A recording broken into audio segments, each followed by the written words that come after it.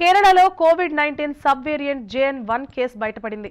ఈ విషయాన్ని కేరళ రాష్ట్ర ఆరోగ్య శాఖ మంత్రి పణా జార్జీ ఆదివారం ప్రకటించారు.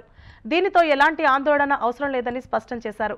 కొన్ని నెలల క్రితం సింగపూర్ ఎయిర్పోర్ట్లో భారతీయ ప్రయాణికుల స్క్రీనింగ్ సందర్భంగా ఈ సబ్ వేరియంట్ను గుర్తించారు.